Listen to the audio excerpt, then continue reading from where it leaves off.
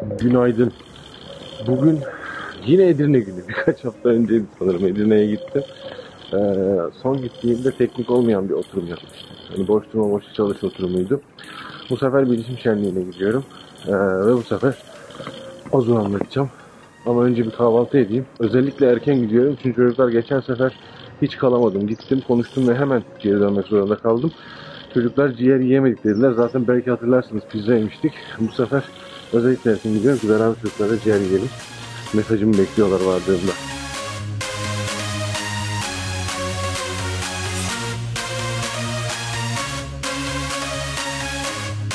Etkinlik alanına geldik. Şu arkadaki bina. Ama bahsettiğim üzere bu sefer erken geldim. Niye? Çünkü ciğer yiyeceğiz. Ciğer yemeye gidiyoruz. Aynen öyle. İnşallah afiyetle gömeceğiz.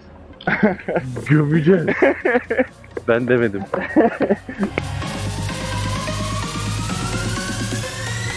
Yemeğimizi yedik, geri dönüyoruz. ne yaptık? İlk söylediğinde belki yayınlamam diyordum ama şimdi tekrar tekrar ettiği için yayınlayacağım ben bunu yani. Şimdi etkinliğe dönüyoruz. Etkinlik alanına sonunda oturumu yapacağım ben. Şöyle. Kimi almıyorum? Sizi yakından çekeceğim.